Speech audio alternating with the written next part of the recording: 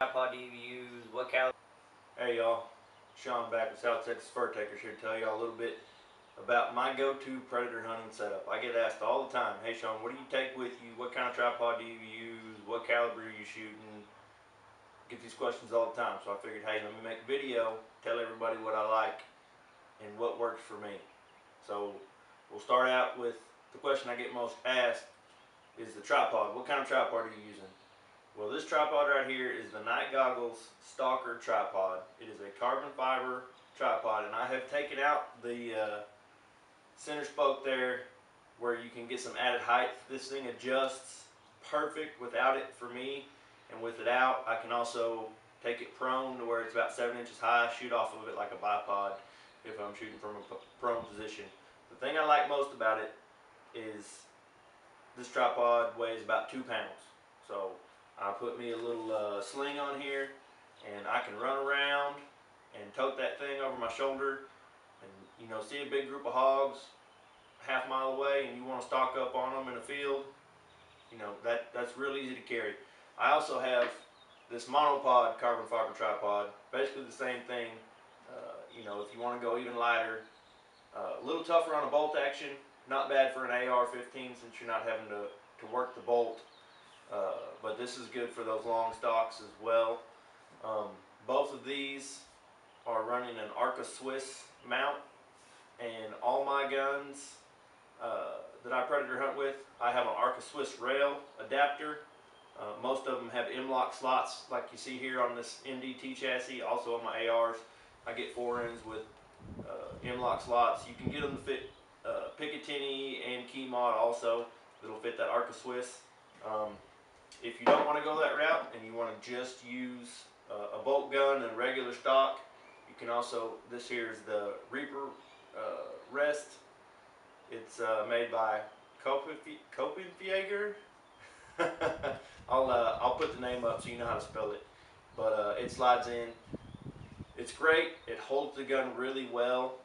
But this thing's got to be two, two and a half pounds. So it adds a lot of weight. This thing right here weighs as much as that tripod does.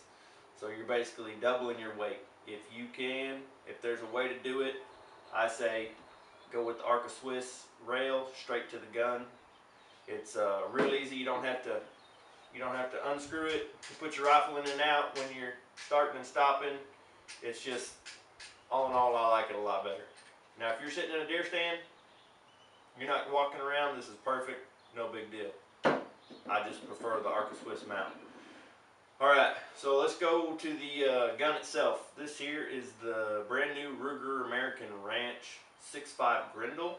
I was running the Ranch 223 for a long time. I like the 16 inch barrel, uh, the MDT chassis obviously because it's got the M-LOK slots and it helps improve accuracy and everything. The only thing I don't like about the MDT chassis is the safety kind of sits down in here real deep. It's kind of tough you got to bring your hand around to click it off safe. Um, but typically with predator hunting, hog hunting, you've got plenty of time. You know what's happening. You see them coming in with a thermal from a long way away. So it's not the end of the world. It doesn't really bother me that much. I ran a 6.5 Grendel for a long time. I ran it uh, in an AR-15 platform. Decided to go to the bolt action with the 223 because that was my best option at the time because I felt like I wasn't taking time with my shots. Uh, started making a lot better shots with the bolt action. Then they came out 6.5 Grendel, so I had to get one. Um, and I've taken it out once, shot one coyote with it, you know, dropped basically on the spot. I've got a video called Thermal Predator Hunting that shows that video. Um, other than that, one thing I really like is these Hornady cheek rest pads. They're very high quality. They come in uh, black and tan like you see here. So I run an external battery pack because CR123 batteries get pretty expensive in these thermals. This here is the Pulsar core. Um, and basically I run my cord and my battery pack into this pouch here. I don't have cords everywhere. I don't have a pouch attached to the front of my gun. It balances really well. Uh, it's just super handy. Um, and I guess that's pretty much it on the gun. You know, it's Hogue grip, and then it's got a Magpul stock that you can't see, just the CTR. you know, it's got the clip, takes the wiggle out of it. Here, uh, I've also got the uh, Anarchy Outdoors extended bolt handle, which I find helps with the 6.5 Grendel. It doesn't feed quite as smooth as the 5.56 223 Ranch does, but uh, it still feeds no problem. Um, no issues there. Like I said, just that extended bolt handle gives you a little more leverage, throws it a little easier. I like that.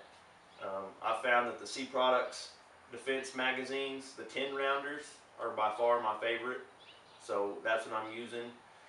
As far as inside of them, uh, right now my go-to ammo is the uh, Nosler Varmageddon, the 90 grain tipped. Uh, these things are awesome. They shoot really well. Uh, you can see what they did to that coyote in the video above. Um, I just really like them. They're a little more expensive than the Hornady Blacks and everything like that, but I mean, I'd rather shoot one shot than four shots. So right now I'm sticking to these. They've been great. Uh, got no complaints on that. Like I said, it's the Nosler Varmageddon. I also was shooting them in the Ranch uh, 223 with the uh, 55 grain tipped, and they did great as well. I really like them. Uh, here at the end of the barrel, I've got a Gamma BG6 Precision muzzle brake. Uh, I'm guessing somewhere around 40 to 45, 50 percent recoil reduction with that bad boy on there. It's super handy. And then another modification I made, the trigger.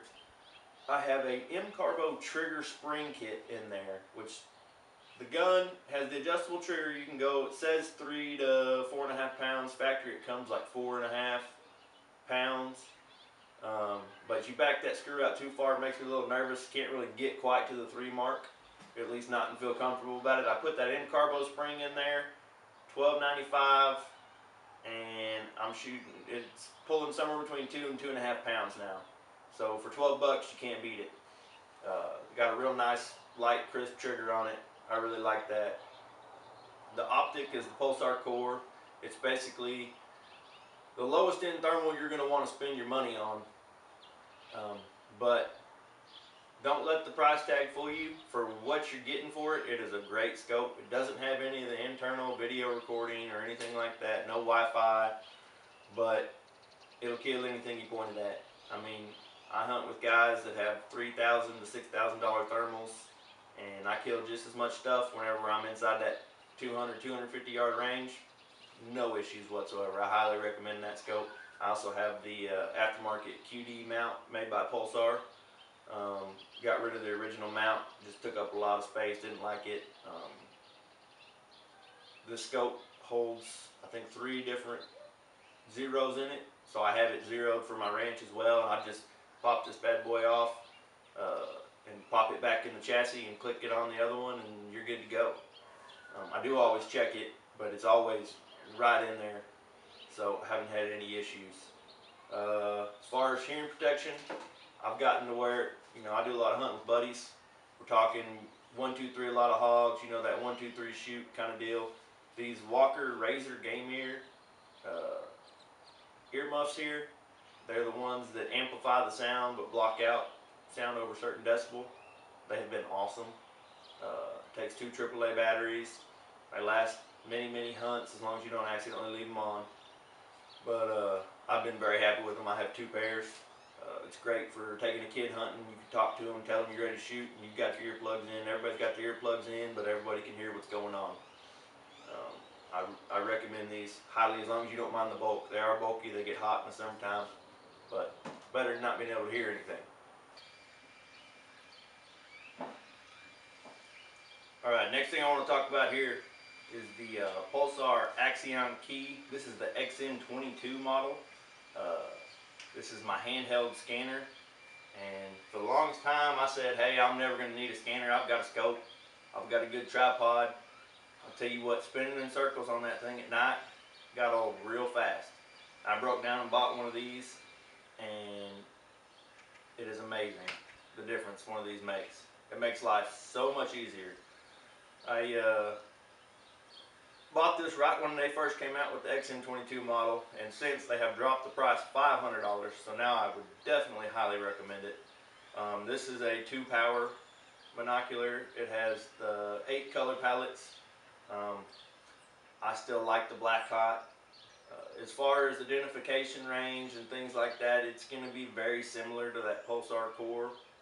Uh, I think the resolution might be slightly better with the new update I just did, but the screen inside is smaller than the screen inside of the uh, Pulsar Core.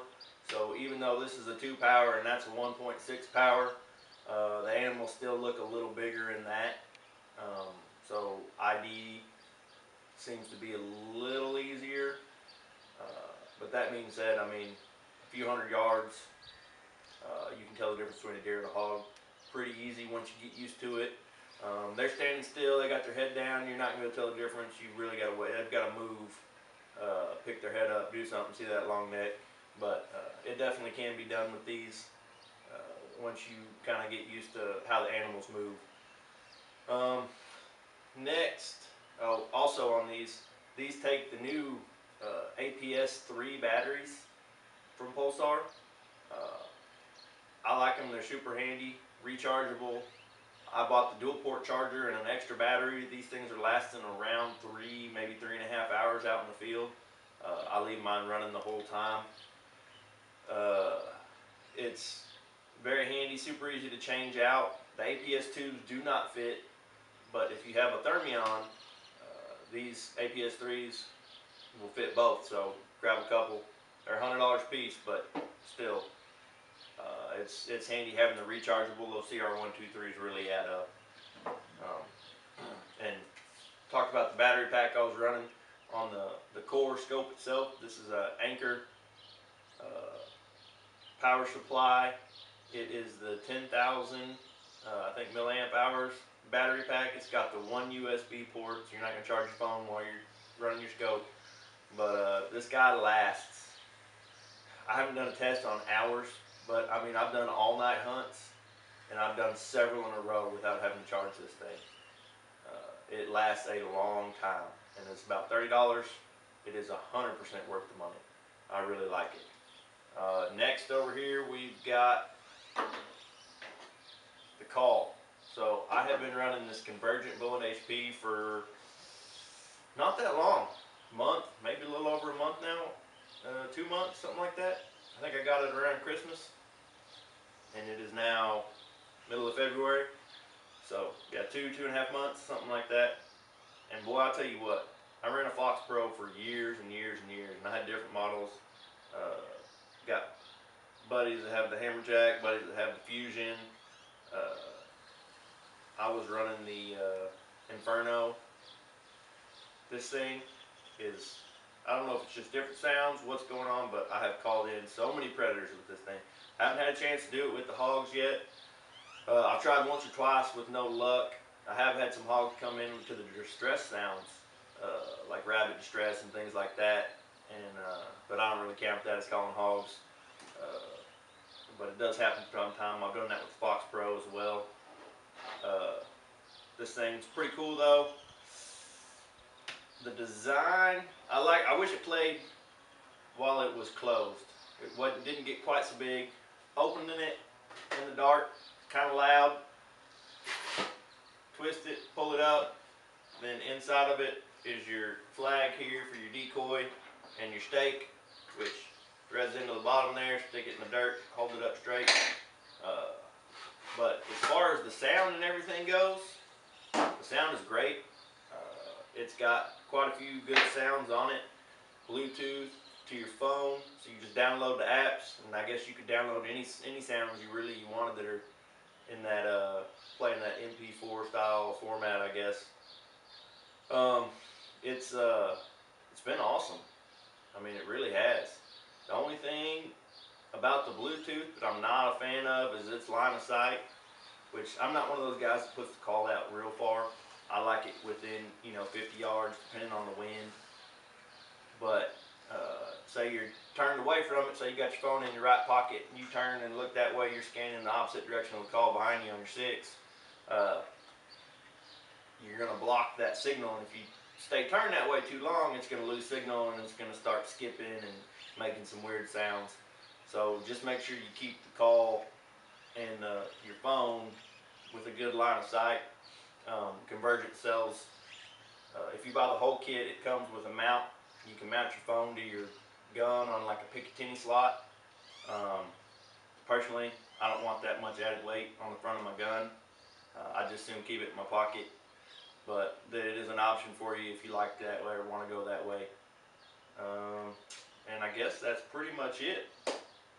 That's uh, that's gonna do it here. This is my my go-to predator hunting setup.